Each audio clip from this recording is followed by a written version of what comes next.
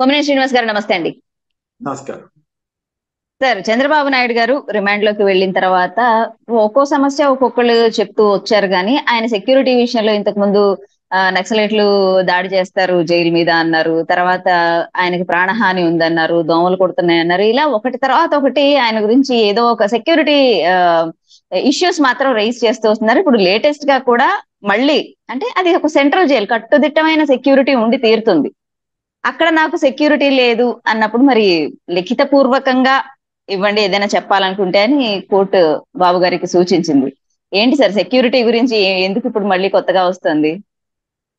నిజానికి చంద్రబాబు నాయుడు గారు ఇంత సీనియర్ నేత అయింది ఇన్నేళ్ళు ముఖ్యమంత్రిగా పనిచేసిన వ్యక్తి అయింది అలాగే ప్రతిపక్ష నేతగా ఉన్న వ్యక్తి అయింది ఇలాంటి ఆరోపణలు చేయటం అంత సమంజసంగా లేదు. సరే ఆయనకి బాధ ఉండొచ్చు. నన్ను అవినీతి కేసుల్లో పట్టుకుని జైల్లో పెట్టారే అనే బాధ ఉండవచ్చు. అయితే ఇప్పుడు ఇప్పటికి నలభై రోజులు గడిచిపోయిన తర్వాత ఈ సెక్యూరిటీ ప్రాబ్లం ఎట్లా వస్తుందమ్మా? ఇన్నాళ్ళు లేని సెక్యూరిటీ ప్రాబ్లం ఇప్పుడు ఎందుకు వస్తుంది? ఆయనకి ఎందుకు. అసలు అనుమానం వచ్చింది? ఆయన గారి అబ్బాయికి అయితే ఎప్పుడో ఇరవై నెల రోజుల క్రితం అనుమానం వచ్చింది. ఇంకేముంది. అసలు నక్సలైట్ దాడి చేస్తారన్నంత వరకు కూడా వెళ్ళారు పలానా రకంగా సెక్యూరిటీ ల్యాబ్స్ ఉందని చెప్పగలిగితే బాగానే ఉంటుంది. ఏం సెక్యూరిటీ ల్యాబ్స్ వచ్చింది? అసలు ఆ చుట్టుపక్కల ఆయన బ్లాక్లోకి చుట్టుపక్కల ఎవరిని వెళ్ళని కూడా వెళ్ళనివ్వట్లేదట. మరి ఇంకా. ఏ వారి వారు ఎవరు వారు అనుమతిస్తేనే ఎవరినైనా కలిసే అవకాశం ఇస్తున్నారు. ఇంకా అలాంటప్పుడు ఏ రకంగా సెక్యూరిటీ వస్తుంది బహుశా నేను అనుకోవటం రెండు మూడు అంచెల భద్రత ఆయన కోసం ఏర్పాటు చేసి ఉంటారు అంతేకాకుండా ఒక బ్లాక్ బ్లాక్ మొత్తాన్ని కూడా ఆయన కేటాయించారు. మామూలు Hmm. ఎవరికైనా అట్లాంటి సదుపాయాలు కానీ అట్లాంటి భద్రత కానీ కల్పిస్తారా? సరే ఈయన సీనియర్ నేత సుదీర్ఘకాలం ముఖ్యమంత్రిగా పనిచేశారు కాబట్టి ఆయనకు Mhm. జెడ్ ప్లస్ సెక్యూరిటీ ఉంది కాబట్టి ఆ రకంగా చర్యలు తీసుకున్నారు. తప్పు పట్టక్కర్లేదు ఆ ఇంత తీసుకున్నా కూడా చంద్రబాబు గారు లాంటి సీనియర్ ఇలాంటి ఇచ్చిన ఇట్లాంటి ఆరోపణలు చేయటం కరెక్ట్ కాదు. అయితే ఇక్కడ ఒక ఇంట్రెస్టింగ్ ఫ్యాక్ట్ ఏంటంటే నిన్న మొన్నటి దాకా తెలుగుదేశం నేతలు కానీ భువనేశ్వర్ గారు కానీ లోకేశ్వర్ మన లోకేష్ గారు కానీ వీళ్ళంతా ఏమని ప్రచారం చేశారు? అమ్మో మా నాన్న మా ఆయనకి చంద్రబాబు గారికి ఇంకా చాలా ఆరోగ్య సమస్య వచ్చేసింది. అసలు వీళ్ళు పట్టించుకోవట్లేదు. చాలా దారుణంగా ఉందన్నంత స్థాయికి తీసుకెళ్ళారు. ఉమ్, నిన్న చంద్రబాబు గారు డాక్టర్ మన జడ్జి గారితో జడ్జి గారు విచారించినప్పుడు తన ఆరోగ్యం బాగానే ఉందన్నారు. చిన్న చిన్న సమస్యలు తప్ప నాకేం పెద్ద ఇబ్బంది లేదని చెప్పారు. మరి ఎవరిది కరెక్ట్? భువనేశ్వర్ గారిది కరెక్టా? లోకేష్ గారిది కరెక్టా? లేక చంద్రబాబు గారిది కరెక్టా? ఆయన. ఆయన ఆరోగ్యం తను ఆరోగ్యంగానే ఉన్నానని చెప్ చెప్పారు. సో అంటే ఈ రకంగా పరస్పర విరుద్ధంగా మాట్లాడటం అనేది తెలుగుదేశంలో మొదటి నుంచి ఉంది అది చంద్రబాబు ప్రత్యేకించి చంద్రబాబు హయాం నుంచి ఈ జబ్బు ఆరంభమైంది. ఇప్పుడు ఇప్పటికే అది కొనసాగుతూనే ఉంది. అది మనం ఏం చెప్తాం? ఇటువంటి విషయాల్లో భద్రతని అప్పుడేమో దాడి ఏకంగా దాడి చేస్తారని ప్రచారం చేశారు. ఇప్పుడేమో ఈయన మెల్లగా భద్రతా లోపాలు అంటున్నారు. ఏమి లోపాలు? ఏం. లోపాలు? ఆయనకి ఏమైనా ఆయన చుట్టూ ఎవరన్నా ఎవరు పడితే వాళ్ళు వచ్చే పరిస్థితి ఉందా? లేక ఆయనకి ఏదైనా సమాచారం ఉందా? దాడి జరుగుతుందని క్లెయిమ్. లేదు కదా? ఉంటే. ఆ రకంగా చెప్పొచ్చు. అందుకే కోర్టు వారు మీ మీకున్నటువంటి ఆలోచన మీ అభిప్రాయాలు ఏంటో మీకు వచ్చిన సందేహాలు ఏమిటో తీర్చుకోండి అని వారు లిఖితపూర్వకంగా. పిటిషన్ పెట్టుకోమని చెప్ప ఇదంతా కూడా కేవలం సానుభూతి కోసం జైల్లో పడితే పడ్డం కానీ కనీసం సానుభూతి అన్న సంపాదించుకోవాలన్న తాపత్రయంతో ఉన్నట్టుగా ఉంది తప్పితే ఇంకోటి కాదు వైసీపీ ప్రభుత్వం మీద లేక జైలు శాఖ మీద ఆరోపణ చేయడానికి నిజానికి ఆయన సెక్యూరిటీ కానీ ఇవన్నీ కూడా కోర్టు వారిదే బాధ్యత అవుతుంది కోర్టు రిమాండ్లో ఉన్నంత కాలం కోర్టు వారి. అడిగే ఏదైనా చేయాల్సి ఉంటుంది ఆ సంగతులు అన్ని చంద్రబాబు గారికి తెలియవని కాదు అయినప్పటికీ కూడా ఇలాంటి. ఆరోపణలు చేయడం ద్వారా ఆయన ఈ దిక్కు ఈ సానుభూతి రాజకీయాల్లో మళ్ళీ ఒక పావు కలుపుతున్నాడేమో అని అనుమానం. సార్ అంటే ఈ సానుభూతి రాజకీయాలు అంటే ఇప్పుడు నాకు ఇది బాగోలేదు హెల్త్ లేదంటే ఇలా అవుతుంది అలా అవుతుంది అని చెప్పడం వల్ల ఎవరి మీద ప్రెషర్ పెంచడానికి ప్రయత్నిస్తారనుకో ఏ వ్యవస్థల మీద ప్రెషర్ పెంచడానికి ప్రయత్నిస్తారనుకోవాలి అంటే ఏ వ్యవస్థ అంటే మొన్న మీరు చూశారు కదా హరీష్ సాల్వే గారు చివరికి ఆ ఈ సెవెంటీన్ ఏ పనిచేస్తుందో లేదో అనే డౌట్ ఆయనకు కూడా వచ్చేసి వచ్చేసి ఏం చెప్పారు?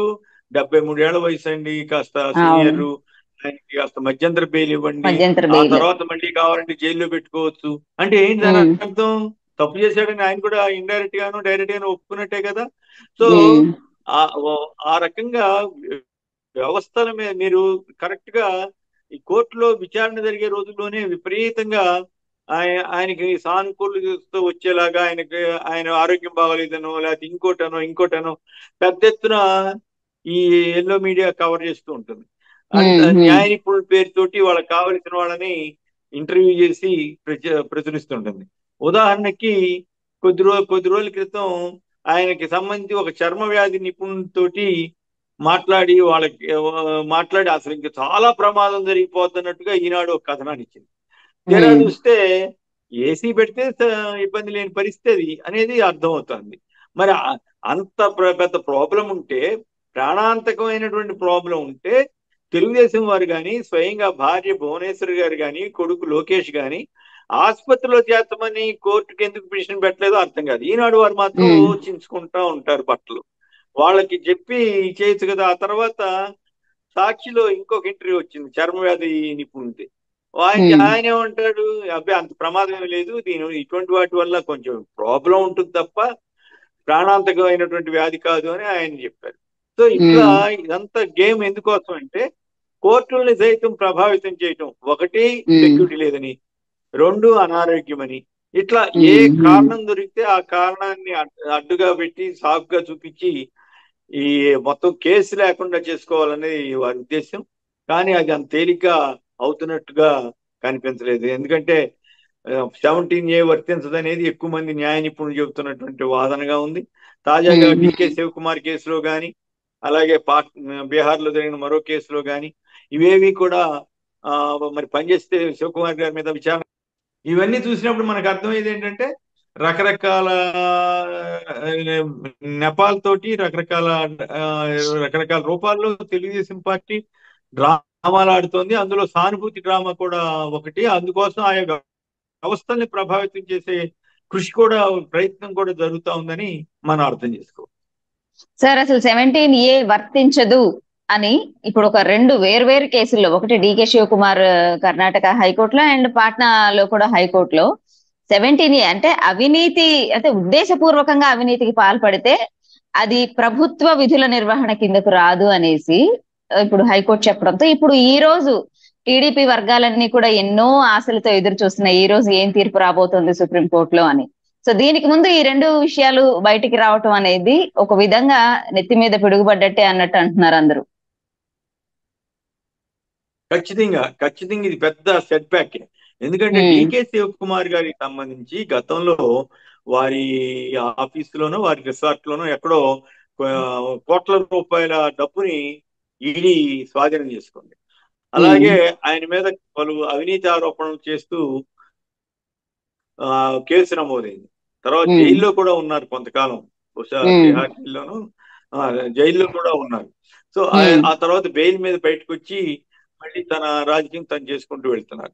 అయితే. దానికి దాంట్లో భాగంగానే బహుశా నేను పూర్తి వివరాలు ఇంకా తెలుసుకోలేదు కానీ బట్ సెవెంటీన్ ఏ గురించి మీరు చెప్పిన దాని ప్రకారం వింటే ఖచ్చితంగా తెలుగుదేశం పార్టీ వారికి తీవ్రమైనటువంటి ఆశాభంగం నిరాశ కలిగించే అంశం. వారి వాదన కరెక్ట్ కాదని ఈ కేసులో తెలియజేస్తుంది ఉద్దేశపూర్వకంగా కాకపోతే ఎవరు.